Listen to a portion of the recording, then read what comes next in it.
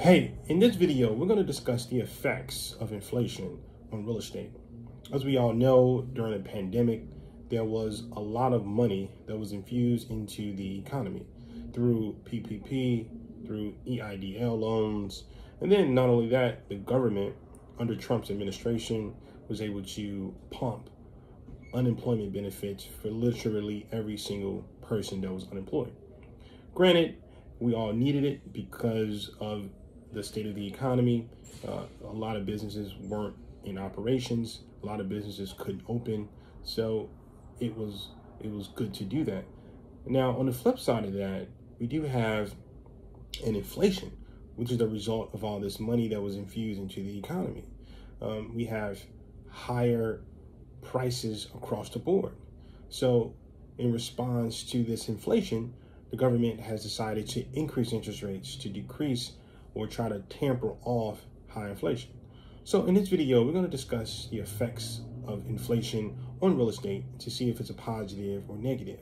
So tune in. What's going on? This is Namaya Jeffrey. Welcome to my show. So in today's episode, we're going to discuss the effects of inflation on real estate. If this is your first time here, please don't hesitate to hit that subscribe button to get more content just like this. That's right. Weekly videos coming at you for sure, high quality content. So in this show, I like to infuse data into everything that I everything that I do. So therefore, people can make informed decisions about what they are considering to do, and they'll at least know with this data what not to do. So let's get right to it. Look, the effects of inflation on real estate is a thing where the cause of it, like I said before, came from these PPP loans, EIDL loans, all these grants and benefits, and then also the unemployment benefits that the Trump administration gave out to millions of people in America. Now, we have to look at how this affects real estate. So now, since interest rates are at an all-time high because the Fed made the decision to increase interest rates to decrease inflation. So what does this mean for real estate? Well, is it a good time to buy more real estate? Is it a good time to sell real estate? Is it a good time to continuously develop more real estate? Well, there are a whole host of things that you have to consider here. Right now, let's say if you want to buy a piece of property, you would need to apply for a mortgage. The interest rates now are, last I checked, was 8%, 9%. Now, if you can't afford to make the monthly payments that includes the principal and interest, it may not be a good time for you to buy a home. Also, also across the board, banks are offering fewer loan options for individuals because they don't want to get stuck holding the bag for people that cannot or maybe will not be able to afford those principal and interest payments after the loan is given to them. Another thing is that across the board, the cost of building supplies and material have gone through the roof uh, because of inflation. So if you're a new developer and you are looking to develop a new house from scratch, it may not be wise to make that investment. It may be wise to wait until inflation goes down with these higher interest rates because of the high cost of material. Another aspect of the economy is that we have uh, traveling the traveling expense, the, the, the, traveling expense is the one of the first expenses that people cut from their budget when inflation increases. Another thing is if you have a vacation home or if you're looking to go into a vacation business, it may not be good to do that because people aren't traveling to go to vacation homes at the moment. So now you're going to have an empty house where nobody will come there because they're not interested in vacation that much. Now, on the flip side of this, if you're a real estate investor and you're thinking, man, should I buy a multi-unit property, a single family home, or invest in the commercial real estate? Well, the answer is yes. And the reason why is because you still have a strong demand of people who want to rent. The reason why you have such strong demand of people that want to rent is because interest rates are so high, which discourages investors from buying homes. So it forces these people to be renters. Now you have this pool of renters that's looking to rent out apartments because they're not ready or can't afford to buy.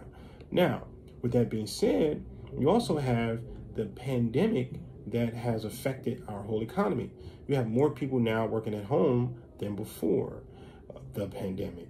Now, because people have decided to work at home because your job allows them to make the same amount of money that they were making to work at home, then they're going to work at home. Now, if you have a job that forces you to not work at home, if you have to be there to make something, or if you're like in the the, the t-shirt business and you have to actually create that t-shirt and go to the manufacturer or the production place, then there's no way you can work at home. You have to work at that place. But since the economy has shifted, you do see more people, a lot more people working from home than actually going into the office. Now that you have all these renters that are looking to rent out a place, the, the rental market now is going to increase in value because the demand of homes to rent or apartments to rent is going to be higher. So it means that if you're an investor looking to buy a single family home or a multi-unit property, then it's good to invest in those types of units. Not only because of the spillover of the rental market, but because, like I just said, you have more people from the pandemic that is working from home now. And that most likely is going to be that way for the foreseeable future. I personally don't think that it's going to change. I mean, I think that it may shift. I mean, you do hear some companies saying that they're going to require more of their workers to work in the office versus their home, but I don't think so. So I think that when you think about inflation and the way it affects real estate, I think yes, property prices will decrease or normalize but I do think as a real estate investor, if you're looking to buy a single family home or a multi-unit home, then it's a great investment to get into. But if you're looking to build a new home or if you're looking to if you're looking to build a new home, it may not be a good investment because supplies and material are so expensive at the moment because of inflation. Now, if you're a developer, and I think the best thing to do is to wait until these interest rates affect inflation and decrease the materials and supply prices. And then when they go down, then you can start to invest. Uh, because we don't know how high inflation is going to go. I mean, people think that uh, we're at a point now where inflation isn't going to go much higher because of these interest rates, but you never know. Not only that, if you're if you're a developer interest rates are high. So that means that the cost of money to borrow is higher. So it still may not be good to take out a loan to buy a new development alongside these high construction prices. So I think if I were you, I would either switch strategies, focus on multi-unit, or just pause on developing new projects.